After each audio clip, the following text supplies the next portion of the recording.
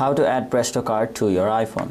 Hey everyone, welcome back to another tutorial video. In today's video, I'll show you how you can add your Presto card to your iPhone.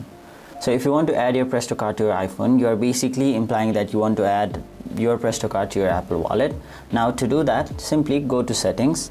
After that, scroll down and then tap on option wallet and Apple Pay and then tap on the option add card. Now once you've done that, it will provide you various options such as previous cards, debit or credit card or transit card. Now since Presto is a transit card, we'll tap on the option transit card and then it will show you the list of all of the different transit cards from various different countries such as China mainland, France, Hong Kong, Japan and United States. Now you may be wondering why there is no Presto card or Canada over here.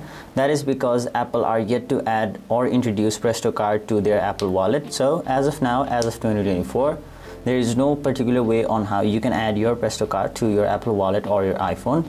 So in the near future, if Apple decide to add Presto card to iPhone, you can simply come back to this page type in presto over here or you can simply go to canada presto and then you can add your presto card to your iphone so that was it for this video. Hope this video was helpful to you guys. And if it was make sure you like this video and subscribe to our channel so that you don't miss out on further videos such as these